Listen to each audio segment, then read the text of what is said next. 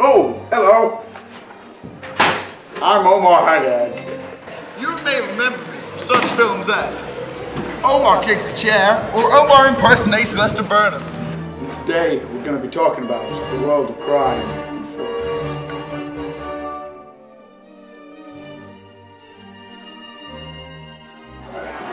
Oh yes.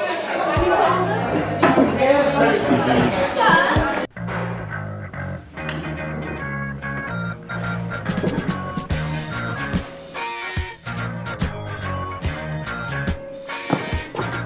Sexy Beast is a 2000 film directed by Jonathan Glazer, starring Ray Winstone and Ben Kingsley. In the film, we see multiple shots of. Hang on a minute. What is this? What on earth is this? This is blasphemy. What is this? Walmart. What is this? Oh, oh, this is not good.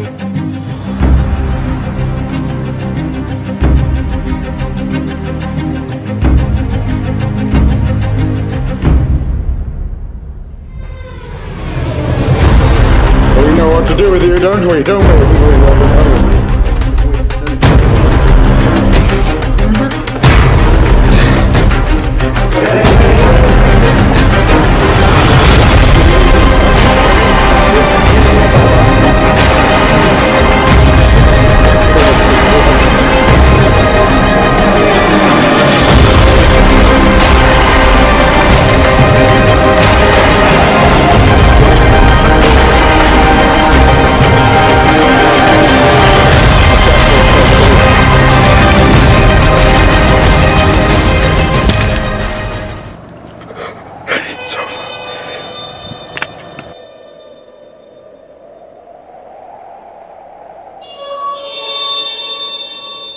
Anyway, back to Sexy Beast. When marimba rhythms start to play, dance with me, make me sway. Like the lazy ocean hugs the shore, hold me close, sway me more. In the opening scene, we observe Gal sunbathing in his idyllic Spanish villa. It shows that crime certainly pays. In addition to this, he even has a manservant child. Oh, yes, a little slave boy. Not many people can afford that. Likewise, we can see Dee Dee's sports car. Again, crime pays. She's able to afford luxurious shoes that I fancy myself, to be honest. I even like her shopping. She she has bought a lot of shopping. That shows that she's got money. Money from crime. The swimming pool shown even once again is this British idea of paradise that crime allows you to be able to buy.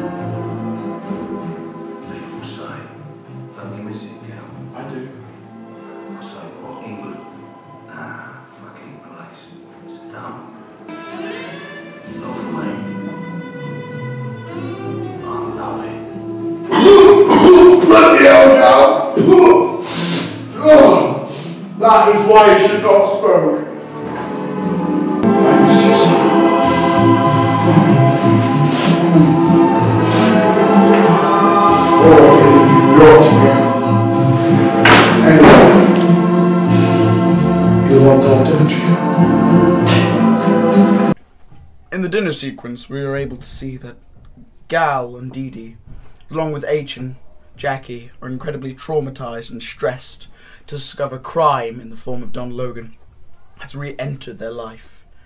Terrified, the camera shots become longer, the pauses become more apparent, and the silence is certainly haunting. Straight after this, we observe a scene in which the surreal rabbit creature enters, perhaps making audiences feel that this is the crime, interrupting Gal as he eats, in a shocking, horrible, and unruly manner. Upon Don Logan's reintroduction into the scene, we observe techno music, fast, precise editing along with the beat, intense atmosphere, and downright decisiveness. It shows that crime is organised, calculating, prepared, and ready for what is ever next. Gal turns to his man-child slave and tells him to get out before it's too late. He acknowledges that crime is dangerous and he doesn't want his little baby slave to get hurt. A few scenes later, we observe Don Logan talking to Gal about how he's heard about this new job. We see a strange, yet organised network of crime throughout London and England, even. We see Don be informed by Larry, some kind of boss of Don's corporate, perhaps. And Larry has heard it from Mr. Black Magic himself, if I like a bit of that. We see Lenny, Teddy, whoever it is, referred to as Mr. Black Magic himself, perhaps suggesting there's some kind of legend or respect in the world of crime. Teddy is then introduced to Harry, a billionaire, perhaps. Well, he looks like it. He, he look he's at an orgy. You know, come on, you got to be a billionaire to be at an orgy. That's what I was always told as a kid. Who runs the black bank vault, which is going to be robbed later? Sweet irony that is. Harry is sat right next to Teddy at this high class orgy, seated next to Teddy, showing how close the world of grin- grungy, dirty crime is the world of banking, even, or, you know, just good corporations, and how close it is to the real world. The arrogance of Teddy to walk and puts a mere pack of perhaps Marlboro cigarettes into the vault showing that he doesn't give a crap. He doesn't give a rat's ass about what anyone thinks. He's bloody Mr. Black Magic himself. He do what he want whenever he wants, showing the world of crime is unpredictable, arrogant, and powerful.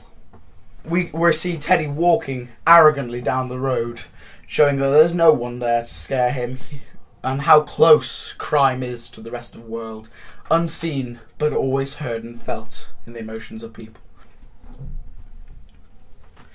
We see Don violently approach Gal, attacking him, showing violence is from nowhere. Then moving on to a little slave child, also known as Enrique, I'm being informed. And when he attacks Enrique in a shocking, brutal, and violent manner to just a child, a man child slave, oh I might add. So, after Don Logan apparently is shot by someone, well, we don't really see it, it's a bit wishy washy if you ask me we observe the grim, blue, cold nature of London, shown by the blue tint and the metallic walls, as Gal re enters the world of crime down a dark, long tunnel in one hell of a long take. Gal continues walking and walking through these cold blue steel walls to the point where he meets his workers, Larry and Teddy. During the heist, we see how close once again how close crime is to the world of normality really. There's even jeopardy in the world of crime shown by how quickly the pool is electrocuted and how close most of the men were to dying showing how high the cost is if you do crime incorrectly or even in this case corruptly. Even the people in the bank vault we can see have participated in some crime of their own. For example we've got the pictures of the torture porn here. Horrible, gruesome, but hidden in a quote unquote illegitimate vault in which we see many high class, arguably respectable people placing their valuables. However, people are now valuing photos of torture porn or women being beaten higher than any jewellery, showing that the crime can be on both sides of the law. So in the following scenes, we observe Teddy murder Harry, his higher up, with no fear or even hesitation.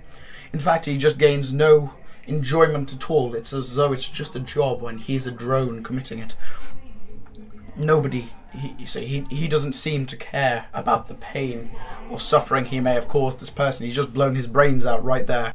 It's almost as a way to show Gal he's not scared of anyone. He is the top of the food chain in this crime society. Oh, When Teddy and Gal drive back to the airport, we see the intense discussion where Teddy offers Gal a mere ten pounds. Yet Teddy tells Gal that he's only got a twenty pound note, with the arrogance to ask for money back after this life-threatening crime. Gal loses all of his money. It's been a waste coming here, except for the one gift he has received, or the one prize he has claimed. Dee Dee's red earrings, showing that he values love above any crime, showing that the world of crime is not as important to Gal as it is to everyone else. In the final scene of the film, we see life back to normal in Spanish paradise. However, we can see, such as on Enrique, we can see a scar on his face showing that there's physical and also emotional scars of what's just happened, of the world of crime represented by Don. Gal even refers to Don's dead body, talking to it as if he's telling it to shut up, telling the world of crime to shut up, leaving him alone in this paradise, as if he knows that he's going to be caught again, no matter how hard he tries to escape. And in the final scene of the film, we see the animalistic beast attack Don Logan's coffin. Don Logan turns to the beast, tuts, and so we have the end of the film. Almost showing that Don Logan doesn't care, he's dead, he's now free of this horrible beast that is crime. And that Like a was the end flower of bending in the breeze. Bend with me, sway with ease. When we dance, you have a way with me. Stay with me, sway with me. Other dancers may be on the floor, dear, but my eyes will see only you. Only you have the magic technique. When we sway, I grow weak. I can hear the sound of violins long before it begins. Make me thrill as only you know how. Sway me smooth, sway me now.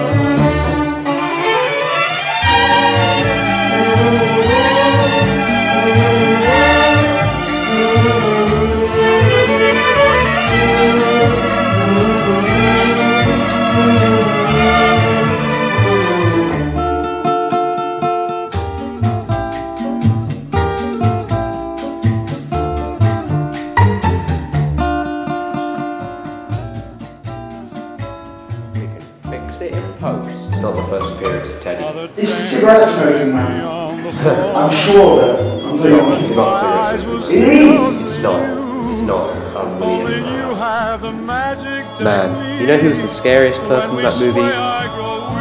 Lenny. I can hear the sound of violins long That again without the popcorn deafers. go, go.